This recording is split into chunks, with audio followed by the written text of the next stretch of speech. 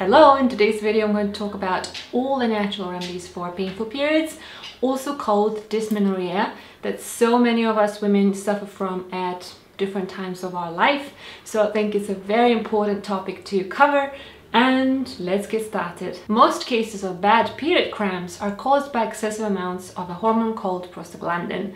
Prostaglandins have so many different functions in our body from formation of blood clots and controlling inflammation to um, starting labor in somebody who's pregnant and causing uterine contractions and that's just a few of the different functions there are so many more. So what happens when there are too many prostaglandins is that the uterus will start contracting uncontrollably way more than it should. And in fact a lot of women with bad period cramps say that the pain of the cramps is comparable to contractions of childbirth. And it makes sense because prostaglandins are involved in both of them they cause both of them so the pain is very similar. So the aim of the game here is to reduce those levels of prostaglandin. Sure there are non-steroidal anti-inflammatory drugs like ibuprofen or birth control pills which both control the levels of prostaglandins but in this video i'm only talking about natural remedies and trust me there are quite a few so let's dig into those first. First thing to mention here is zinc. Low zinc will cause uh, painful period cramps and that's because zinc is very closely involved with um, the control of levels of prostaglandins and is also anti-inflammatory. There has been a study that showed that taking 30 milligrams of zinc every day for three to four days before the period actually got rid of any kind of premenstrual tension or cramps in most of the women, which I think is amazing and it's definitely the first thing I would try personally. Um, the only thing is that, as I talked already in my previous video, zinc is actually known to deplete copper, especially taken in high doses and for a long time. So it's very important to combine zinc with copper at different times of the day. The next thing I'd like to share with you in this video is bromelain is an enzyme found in pineapple. Cooking or heat actually destroys most of bromelain, so it needs to be either completely raw pineapple or bromelain supplements, which might be easier to get hold of. Bromelain actually reduces the amounts of of prostaglandins. And so many women have noticed that if they eat some fresh raw pineapple during the period, their cramps vanish. And that's because of this magical bromelain. It's a good idea to start taking it at least a few days before the period and then during the period and hopefully that will help you control those levels of prostaglandins. The only thing is that bromelain can make periods heavier in some women so you'll need to keep a close eye on the amount of blood you're losing and if it's too much then it might be this. But for other women it doesn't affect blood loss at all. The next remedy I want to mention is Dong Quai. It's a herb from traditional Chinese medicine and you know in the West it's thought that period cramps are caused by high levels of prostaglandins, just like I said at the beginning of the video. But instead, in the East, in the traditional Chinese medicine, is believed to be caused by stagnant blood. And Dong Quai is great for that because it nourishes the blood, increases, improves the blood flow. So it basically brings more blood flow and more oxygen into your uterus and all the reproductive organs. And so the blood is able to flow out better and you have less pain. But it also regulates prostaglandins, so it's great if you have period cramps. The next thing to mention here is turmeric or curcumin, which is its extract, and it's known to reduce the synthesis or the production of um, of prostaglandins, that's why it helps the pain, but it's also anti-inflammatory. And the last thing to mention in this category is flax seeds. It's advised to take a couple of tablespoons of flax seeds throughout the cycle and that should really help you with the pain because flax seeds are known to reduce the production of prostaglandins as well without even mentioning all the other amazing health benefits of the humble flax seeds. So these are all the different things that can help with the prostaglandins but not all period pain is caused by prostaglandins and in that case there are a few other things that are really worth mentioning that are just basic remedies that are not connected to prostaglandins in any way. The first thing is wild yam. It has antispasmodic properties, which means that basically prevents those uterine cramps or spasms from happening and it also promotes the production of uh, progesterone. So it's a great thing for women, especially with low progesterone and painful cramps at the same time, which is very, very common. The bioidentical natural progesterone cream is actually made, synthesized out of wild yam.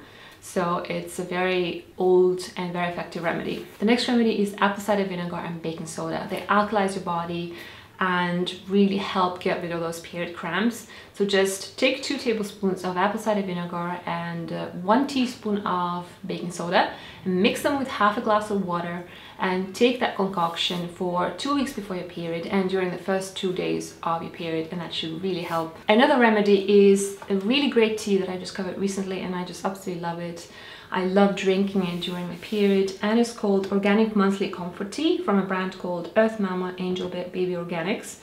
It's got a lot of different herbs that helps with uterine uh, cramps and contractions, whether it's during a period or postpartum. And it's got things like Lady's Mantle, which I mentioned in my video about heavy periods, also lemon balm, nettles and alfalfa, um, ginger and cinnamon, which are all really good for all kinds of problems related to painful periods, heavy periods, and things like that. So I got it from iHerb and it's not very expensive. It tastes delicious because of cinnamon and ginger. So it's a little remedy that I found really, really helpful. The next thing is something that also helped me a lot that I also mentioned in the heavy bleeding video and that's a herb called Shatavari from the Ayurvedic um, tradition.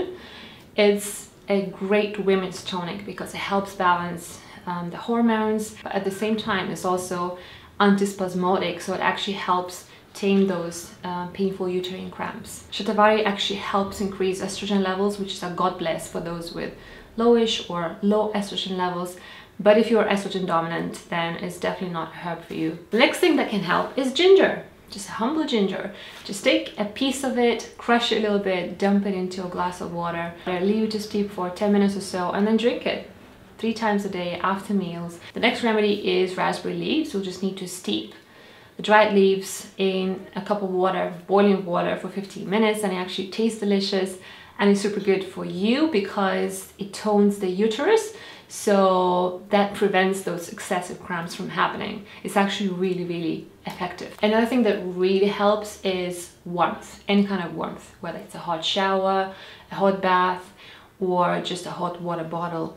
If you are in the shower, then try to direct the stream of the water towards your lower back and your lower belly, and that seriously helps so much. It's also a good idea to avoid red meat and caffeine or any other um, stimulants during a period because they can make cramping worse as well.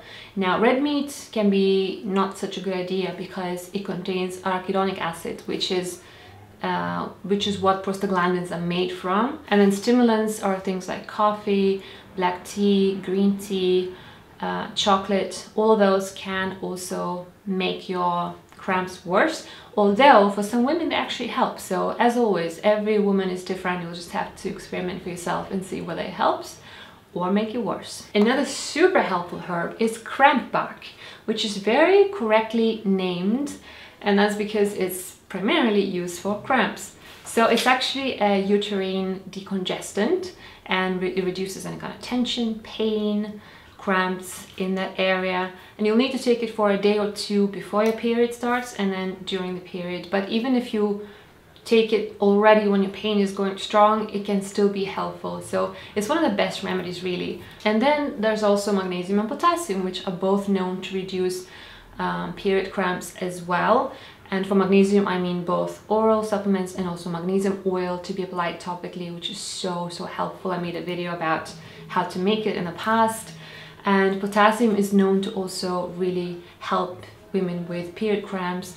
So I think there was a study where women taking 400 milligrams of potassium a day actually completely got rid of any period cramps which I think is amazing and definitely worth trying. And the last remedy to talk about is blackstrap molasses.